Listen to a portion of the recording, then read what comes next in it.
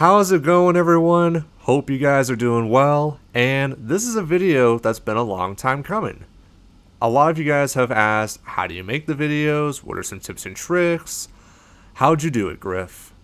Well, I am finally going to tell you guys everything that I've picked up, some tips and tricks that I have learned, and you guys can take it with a grain of salt. So I'm going to break this down into five parts, and there are some things that I'll go a little bit more in depth into, but then there are some other things that I'll leave a little more kind of bland and more, um, I'm not going to talk too deep into, is because there are other tutorials that talk more in depth of what I'm talking about. So, with that being said, let's just jump right into it. So to start things off, part one is simply have an idea. And so some things to ask yourselves include, what has not been made yet? What has not been out there, or what is something that someone has partially touched on that you could potentially explode upon and um, really do something good out of it. So those are some things to consider. So like with me, I have been a huge just what if guy, and I'm curious if anyone has made any theory videos in an NASCAR world, and I noticed no one really did at the time. So that's the route I went, and I had no idea what I was going getting myself into, and I just went with it. So one of the things that I do suggest is to simply write it down. Write down your idea and just keep writing. Just keep writing and keep drawing down different ideas, draw like webs, and a big thing is to think logically in the process quote unquote. Even though you were getting into like an alternative universe, I still want to think somewhat logically and to think like, if this happened, then something else happened. So one thing I want to share with you guys is this notebook. This journal here is actually all of my notes from the What If Dale Earnhardt Was Still Alive series. One of the things that was rumored in real life was that if Dale Earnhardt was still alive, Kevin Harvick would have driven the 30 AOL car. So I went ahead and did that. But that brings up a new question. So if Harvick is in that ride, where is Jeff Green going to go? And you have to think about this stuff because if you don't, then your timeline or whatever will be very inconsistent. So I had to think, okay, where's Jeff Green going to go? I decided that Jeff Green was going to drive the 12 car for Penske Racing. He was really good in the Busch Series, and Penske's like, okay, we'll, we'll give Jeff Green this new shot. But I'm not done, because what about Ryan Newman? Because Newman was supposed, or he did in real life, drive the 12 car in 2002. What I decided to do is because you can keep doing that loop forever, where it's like, if this happens, then that happens, and you can keep going forever. But at some point, you have to get creative and you have to end that loop. And so what I did was I gave Newman a third ride. And that's why Ryan Newman stuck with the O2 car throughout the whole Dale Earnhardt series. And so that's something that you have to think about if you want to create your own little timeline, your own little history, whatever. You will have to really put all those pieces together, and you got to be somewhat realistic about it too as weird as it sounds, even though we're going into a whole nother alternative universe. That's part one, is simply just have an idea and stick with it. And one little side note, and I will say this often, just make it. Just go in and if there are some things that you're not totally like confident in, just go ahead and make it anyway, get some feedback, and then start that cycle of constantly getting that feedback so your, your content can get better and better and better. Okay, so let's move on to part number two and that is Know Your Programs. So there are seven programs that I use to help me with my NR 2003 videos. The first one, of course, is NASCAR Racing 2003, and there's definitely a lot that is go that goes on within the game, and I'll talk about some of those things later in the video. And I do have a link in the description down below if you want to get that game. The second program I use is Photoshop. And I know you can pay like 20 bucks a month for Photoshop, but I'm pretty sure you can get like a cheaper version, or not cheaper, an older version of Photoshop for either lower price or free. Photoshop is a whole nother beast, and there are several tutorials out there into how to either paint cars or just the basics behind Photoshop. And there are other programs that you can use like GIMP. I know that some people use GIMP to paint their cars. I never use GIMP, but I know that's a other another option as well. Another program I do use is NRatings. I'll talk more in depth as to how I use NRatings, but there is a tutorial as well as the link to use NRatings in the description below. One thing when you need when you download NRatings is that you will have to register onto the website, but it is free and you'll probably just get like one or two emails and that's it. So just go ahead, register, and then you can download NRatings, and that is for free. But I do recommend that you guys do donate to the guy who made NRatings for the cost of having that program up, because he put a lot of work into it, and it it takes money. So if you guys can, I definitely recommend that you guys should. Another program that I use is called Save Game Editor. Save Game Editor, that is a program that I use to um, have the double file restarts in the 2016 Summer Showdown. And that's the program where you can mess the, uh, or go and play with a starting lineup to whatever lineup you want it to be. And that's another one again where there is another tutorial on how to set that up, so I won't talk too deep into it, but that's another program that I use. The next one I use is Audacity, and that's actually the program I'm using right now to record the audio for this. Um, Audacity is free software, and this is for if you want to get into broadcasting.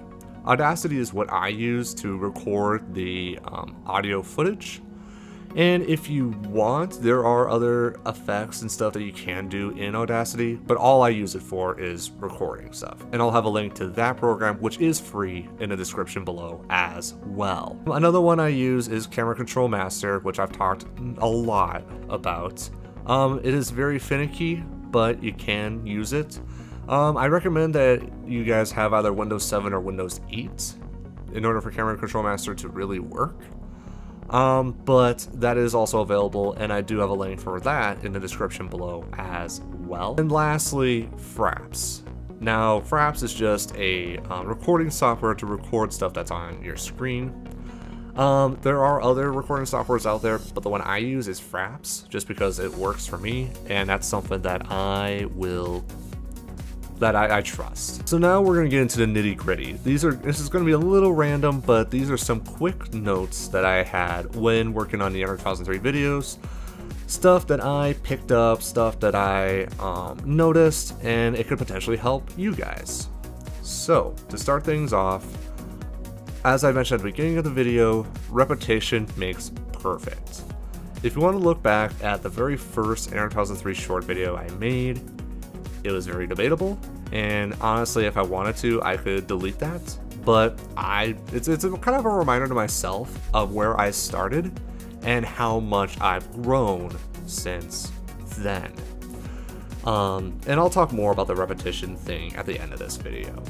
Um, the next thing I do want to mention, and actually it's funny, I didn't even put this in my notes, but um, when I was talking about fraps, it kind of brought up into my mind. Um, when you go into Fraps, I highly suggest that you guys do not record the sound that is on the um, in the Fraps menu. Like there's an area where you can record the external sound or internal sound. I have that all off so that when you do record stuff on Fraps, you do not have any um, sound, and that would actually shrink the files once you record them by a lot. So next one relates to Photoshop. Um, one big suggestion I say for that is, um, and this one is, I'm kind of going a little far with this, but um, we can definitely wrap this back around later.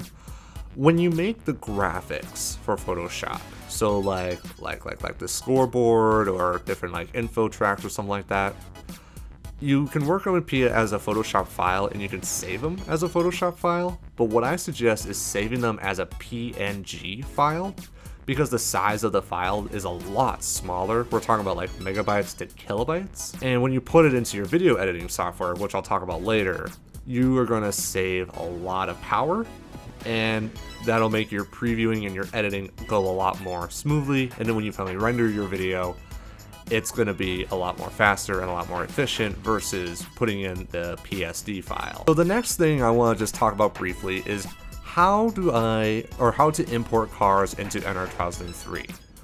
So I'll go ahead and I'll have a couple of screenshots here.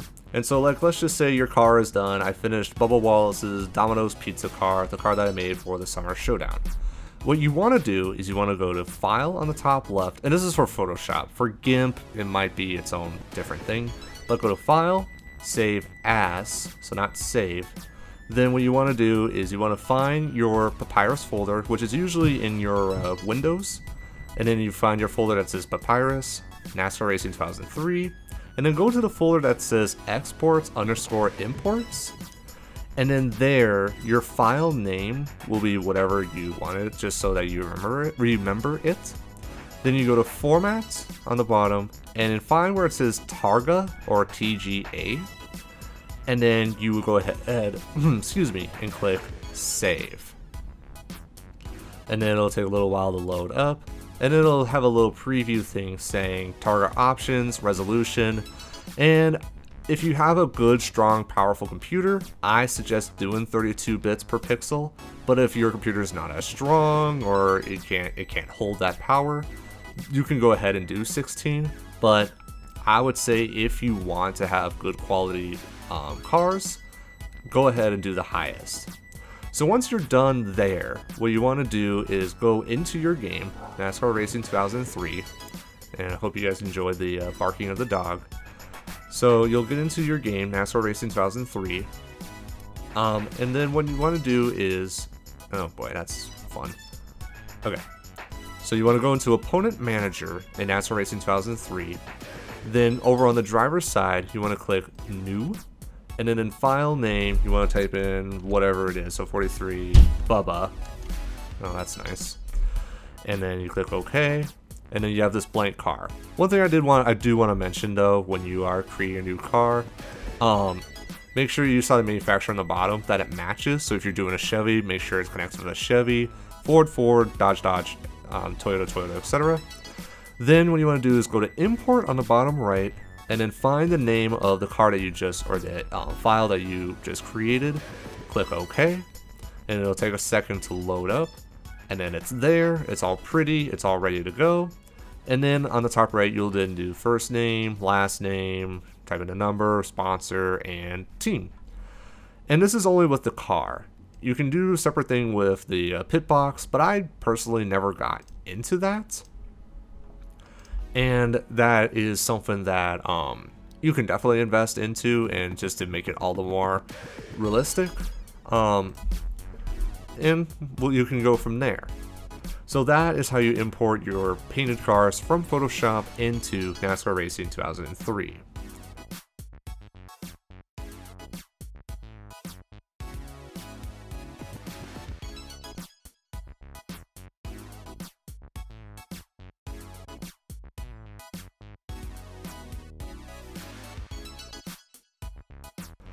Um, so another area that's a little bit finicky, but I do want to talk about is the track INI folder. So where you go to find that is, again, if you go into your Windows, Papyrus, NASCAR Racing 2003 folder, go to the bottom where it says tracks, and then you want to find the track that you want. So for example, let's go to the Talladega default folder. And then you'll have this little notepad. And so the INI, it opens with notepad. And so here you'll have all the information, the name of the track, the all the information. And so if you and so a couple little things to look at. First of all, with default event laps, so for example, if you wanted to do the thing with double file restarts, um, this is where you would go to change how many laps the races are. And so you can go from 188, you can go down to 60, you can go up to 500, you can do pretty much whatever you want. Um, some other things that I messed around with is down on the bottom you have track asphalt grip and track concrete grip. That's just how successfully do the cars stay on the track. And one little thing that I kind of work with is the concrete grip is more of like the outer lanes. And I don't know why it's asphalt and concrete, like I, I don't know the physics or science behind it. But what I'm usually notice is that when the concrete grip is a little higher, um, cars on the outside lane are able to do a little bit more fairly on the outside versus being on the inside. And one little tip, when if, if slash when you go ahead and mess around with this, I suggest you hardly move it at all. Like go 3 100ths, at max 5 100ths, because if you go and make like a massive change, it'll really mess with the entire track file. And, and on top of that, what I also suggest as well is to go ahead and um, make a copy of the track file, the track INI file, so that if you do mess up, you do have the original to revert back to. So you have the asphalt grip, you have the concrete grip. Um, weather, you can mess with that. You can make it ice cold, and it'll actually make the cars go a lot faster. Um, but the one I mess with the most is the AI track because that's the type of cars I work with the most, and that is the AI. So stuff I mess with including the accel modifier, like how fast does a car accelerate, same with decelerating, like how fast does it brake, if at all. Grip modifier, how fast does a car go in the turns. Drag modifier, how fast does it go on the straights. And that's one where if you turn it down, it will go faster in the streets, um, but if it goes a little higher, etc. AI line is one that is very finicky, and if you do end up messing up, you mess up very hard. And that's simply how how deep does a car go like balls of wall into a turn? Um, and then you got the uh, other things, and on the right it gives you more of a description of what each of the things are. And one last note I do want to mention here is I don't share any of my changes because I greatly respect the people who created the tracks in the first place, and I don't want to, you know, call it my own or anything like that and I don't want to like, you know, share that. One other thing that I want to mention is um, going back to the save game editor. There are tips and tutorials on how to get that all set up. And again, the reason why I use that is so like I do the double file restarts. So big area to where I did that was the 2016 Summer Showdown. You saw that all the restarts were double file. Um, and so some things to keep in mind include if a car is super damaged, do you want it cleaned up so that it is good to go, or is it so damaged that it is technically out of the race? Um, and then also consider how many laps to go is in the race. NRatings, I'm not going to talk about too much just because, again, there are other um, tutorials on how to set that up. But long story short, that is what I use to um, make the cars like realistic, if you will. So, like making sure Dale Earnhardt was good and other drivers not so good, um, and keeping it, you know, realistic. And then the big question is um, drivers that were not like in that series at that time in real life. For example, the 2018 Summer Showdown. How did I get rating for like Natalie Decker and Hailie Deegan and whatnot? What I did was I based it off of a driver that was on there. So for Hailie Deegan, for example, I believe I used Martin Truex Jr. from 2018 but I went ahead and I adjusted some of the numbers on the right side to kind of reflect more of her driving style. So like I know that she's great on short tracks, but not so good on like speedways and super speedways, and that's just because she's never been on one before. So again, it's just an idea of like having her or your person reflect off of someone else that actually does have the stats that you want that person to have but then make those slight tweaks so that it makes their own identity, it makes their own person. And just a little side note, if something is confusing or something I say doesn't make sense, go ahead and ask for clarification in the comments section below. Before I talk about actual recording, I wanted to talk about broadcasting and actually running the race. Big thing that I picked up recently is broadcast the race live. So record Audacity beforehand and then jump right into the race and record it as if it's live because then your reactions to whatever happens is a lot more genuine. And I also enjoyed doing those races that way because again, I had no idea what to expect because if I did the race beforehand, it's like then I'd have to act like I'm surprised and it just does not feel as realistic. So now the race is done. You've, you have the race, you are ready to record, you're ready to move on to the next step. So, the first big thing that I say is to record slow. And this is actually something I picked up from TNT Man 93. So, what I do is depending on the track, I record all of my footage at either three to five times slower than normal pace. That is a big reason why my videos take so long to make. And so if you want, you can go ahead and record them at normal speed, but it would look very glitchy. And if you especially use Camera Control Master, there's a good chance you can miss whatever action you want to shoot. When it's slower, you have a lot more control. You're able to focus on whatever is you want in frame. Again, the big downside is that it does take a lot of time to get those races done, and that's a big reason why the 2018 Summer Showdown took as long as it did. In an upcoming video, I talk more about why the 2018 Summer Showdown took as long, but we're not talking about that now. You want to take your time with that, and then with Camera Control Master, that's another thing that it just takes repetition, and just being comfortable with hitting that delete key, letting the camera loose, and then putting it in places that you would think camera people would be. And so what I would suggest is that on some tracks, uh, the original creators put like camera people. What I would say is put your camera right where the camera people are and go ahead and zoom in and try to frame your shots just like you would see it in a NASCAR race.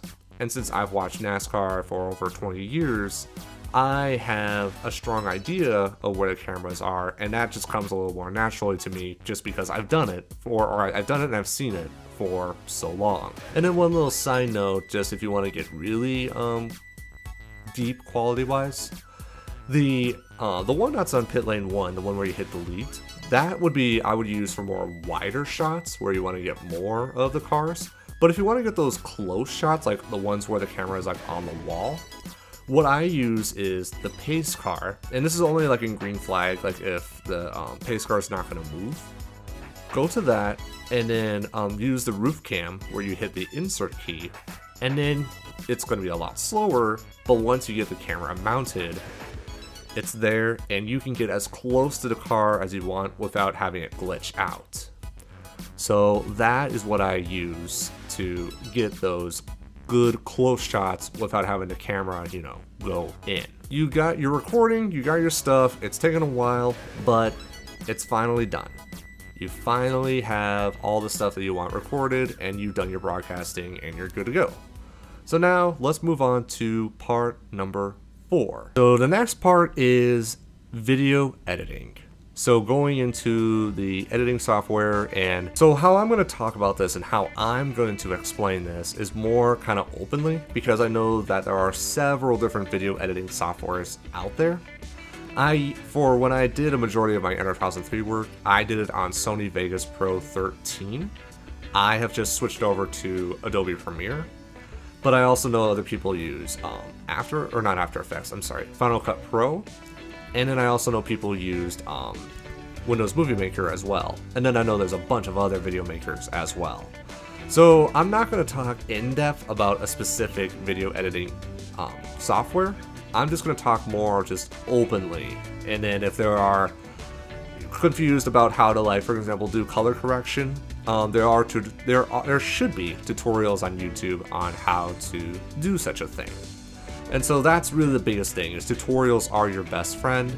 But I just want to again give you kind of like my point of view, my tips and tricks on doing this specific type of content. So to start things off, cross dissolves are nice, but don't do them all the time. The big thing with cross dissolves, I really use it for two areas. One is for like the starting lineups, when you go from one group of cars to the next group or next pair. Instead of doing a hard cut from 1 to 2, I do a cross dissolve just because it flows more smoothly. And then the other time I use cross dissolves is if there if um time, if a bunch of time passes by. So a big example going back to the 2018 Summer Showdown is if there's pit stops and I want to go to one to go before the restart, I do a cross dissolve. And the reason I do a cross dissolve is it shows that some time has elapsed and I mean, I could go ahead and I could do and show some stuff um, in the two laps or whatever, but I usually don't. And I know you guys want to get right to the racing action. And so that's why I do the cross dissolve and I jump from pit stops to one to go. The second thing is audio, and I want to talk about audio specifically. First of all, music. I know that a lot of you guys like using music um, and during your intros or outros, and it's like you're talking with the music. Some people are pretty good with this, but I also know there are some other people where it's like it's a battle, and it's like the music wants to go and compete with your talking. And so, like for example, right now, I, don't hear it now, but I edit, and I learned this from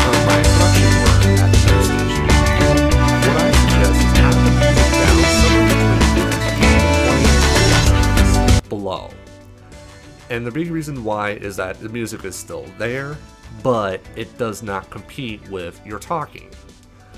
Your talking is still the focal point, and people still want to listen to that. The music kind of adds to the ambiance of whatever you're saying or whatever moment is shown. And then another thing, too, with talking as well, and I'm actually doing this right now, what I suggest is when you do your broadcasting, have the audio a little lower than what you want it to because I know there are some people that like have it pretty high or on auto and when you like talk really loud then um, there's like popping noises and your mic crackles and it does not sound professional or good. So what I do is I purposely have it down a little way so like if you yell it gets you know somewhat high but then in post when you do your video editing I bring that a little higher so that it all um, works out and so it's loud but it's not you know crackling or popping or anything like that. And then and then the other thing then too is the uh, race car noises that i use. So i've used a bunch of real life noises. And this is one this is one of the harder things i would say to make working on the videos was trying to connect the race car noises to uh, my footage. And i would say my your best friend would be the crank it up on fox at least back in the day, they were really good about having just pure nat sounds. Nowadays, I cringe every time I hear like um, communication between a spotter or whatever, and I don't know if they're trying to like enhance it by hearing what the spotter says, but sometimes I just want to hear the nat sounds or the natural sounds of the cars. So that, that that's one thing where there's no like there's no one area for me to go and find the footage you will have to do some searching.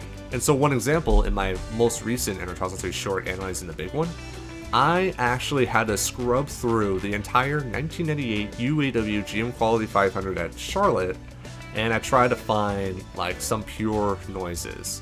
And so I was really lucky when uh, when Dale Earnhardt crashed in the short. The audio I used from that was when Bobby Labonte crashed in the race at Charlotte. And what was really cool is that for the most part, the um, audio did sync up, but I did have to move a couple little clips just to make it sound a little more uh, realistic. So that is a very more advanced thing that I eventually did, and it is time consuming, but if you want to make it good, that is the route that I went with. W one specific part I do want to talk about is like when the like when you have those shots where the camera is on the wall, right? And then the car zooms on by and it's like nyum,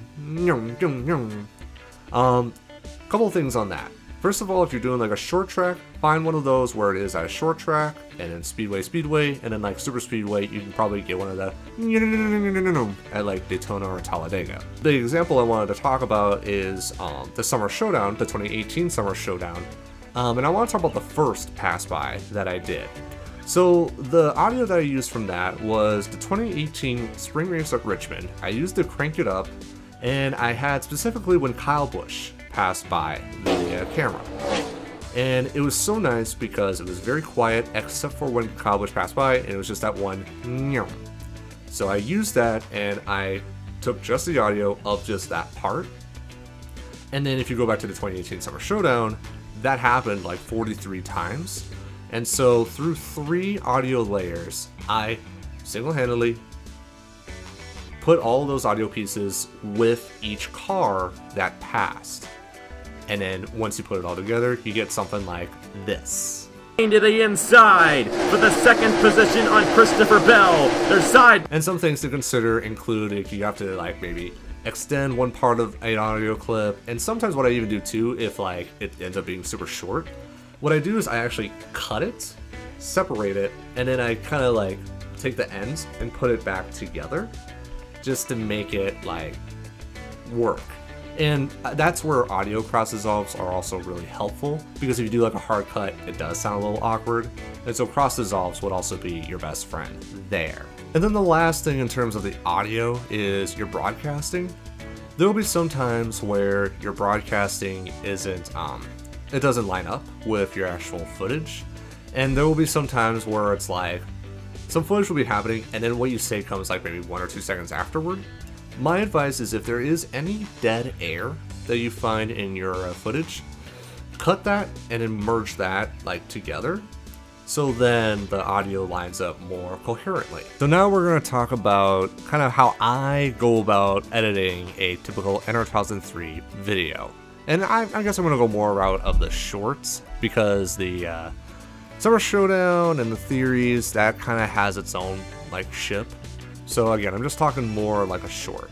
So you have your raw files, and just as a little side note, I, compl- I, I know I completely missed this, but um, at the beginning, but when you record your um, footage, make sure you record it to a hard drive because then the footage is a lot more smooth and um, you are recording a lot of data. And so you would rather have more space on a hard drive than trying to take the risk on a laptop.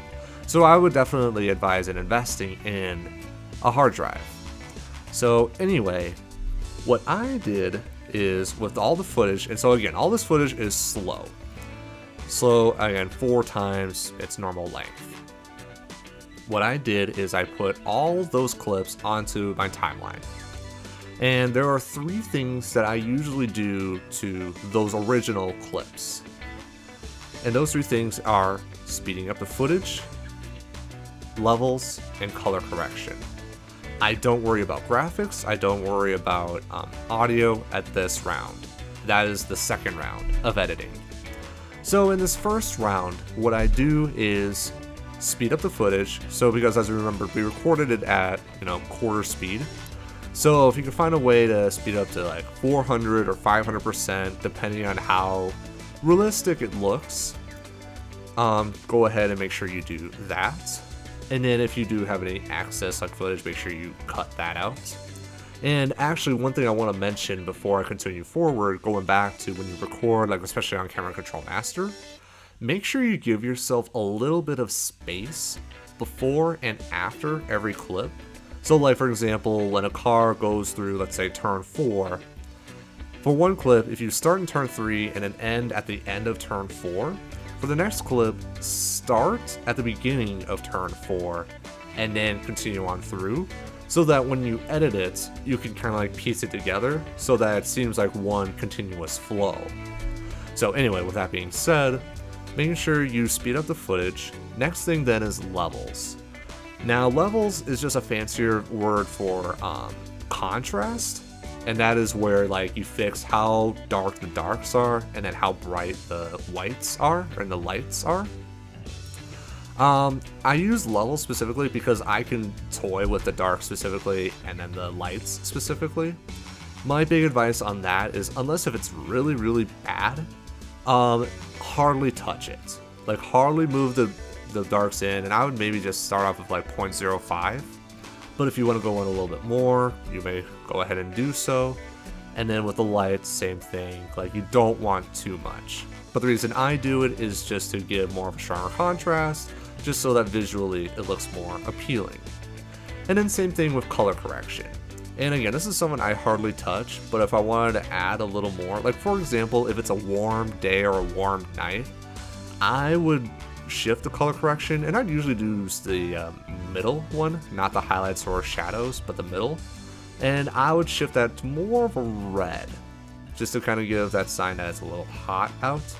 And then like if the sun is like setting, I'd maybe shift the colors more to red and yellow.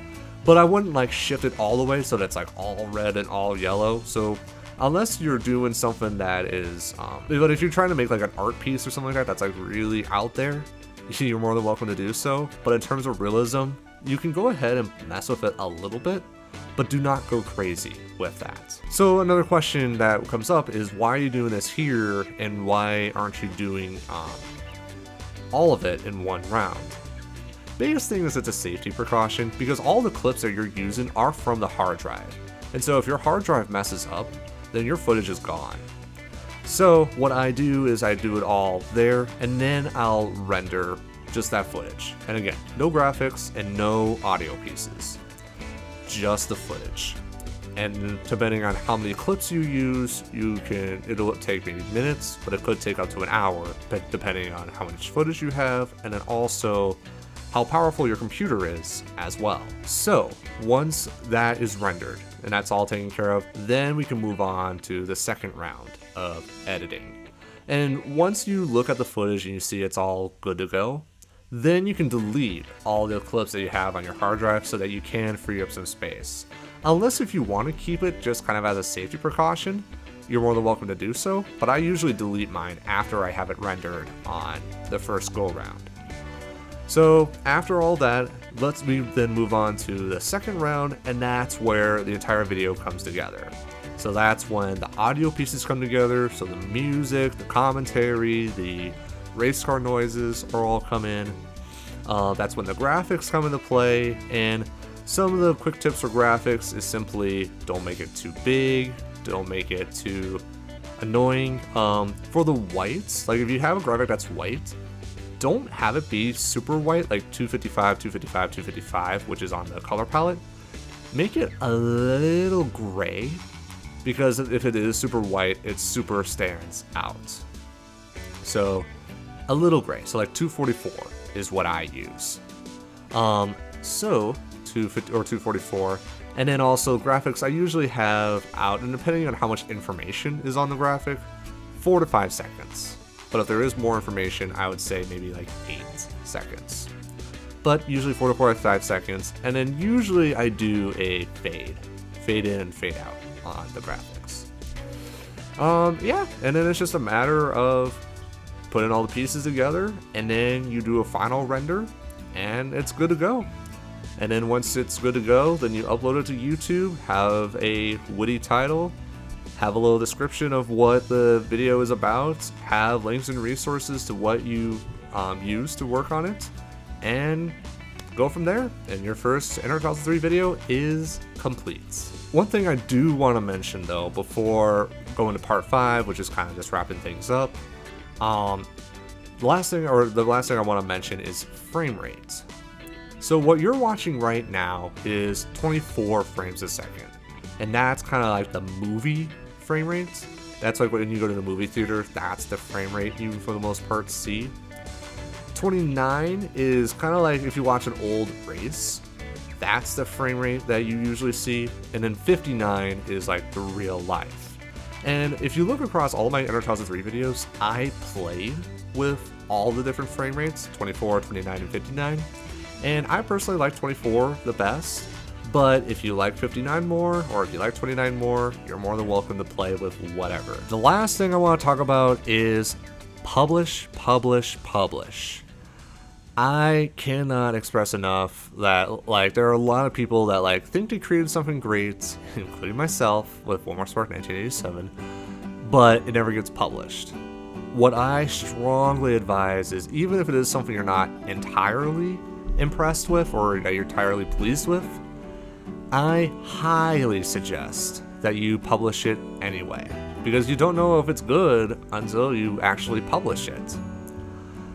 Um, and then there's another thing then too is being open to uh, suggestions, critiques, um, just asking people, what do you think?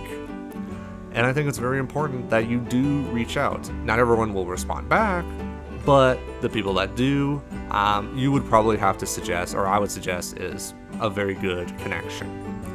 And that's again kind of the route that I'm going to go with as I transition into my new um, role, if you will.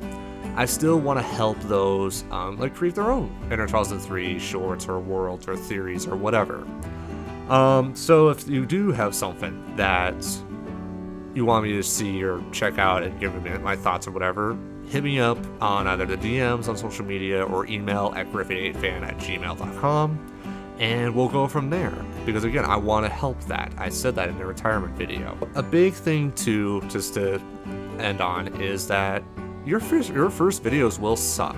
And I actually want to go back and I want to talk about some of the first videos that I made on NR2003. But I really didn't go anywhere until maybe the sixth NR2003 or seventh NR2003 Shark Shush. So let's go to yeah, the seventh NR2003 short because I had a bunch of other ones that I kind of just made for fun, and um, I didn't know what I was doing at the time. I was just making some fun little videos using Camera Control Master. And again, it was at a time where I was very scared to be in front of the mic. And you can even hear it in the fourth one where I had the 2012 Cup guys at um, blah blah blah Road America. And that was the very first time I did any form of broadcasting. And not gonna lie, it was terrifying and it was very cringy. But instead of stopping, I kept going, I kept making content, and here we are. So, and that's kind of the route I'm going with as a little teaser to what's next. Like, I'm kind of stepping back to day one again in a different field because I know that it's a whole different area. Um, so, in a way, I'm kind of joining you guys on that adventure, starting over day one, learning a lot, doing a lot, trying to prove myself again. Um, so yeah, it, that's the biggest thing is to embrace your failures, learn from them, and just know that every failure is an experience. And the worst thing that they'll say is just no. It's not like they're like, I'm out and like hurt you or anything like that. So yeah, if anything um, tickles your fancy, or if you have any questions or suggestions or comments or whatever, go ahead, go ahead and put that in the comment section below and we'll go from there. And as I said, I have resources to all the other stuff that I use in the comment section below as well. Um, and I think that's it. Yeah, just do it. Just start making content. That's all I say. That's all I suggest. So, okay, I'll stop here. Thank you guys so much for watching. And this is Griffin Spier saying so long until next time.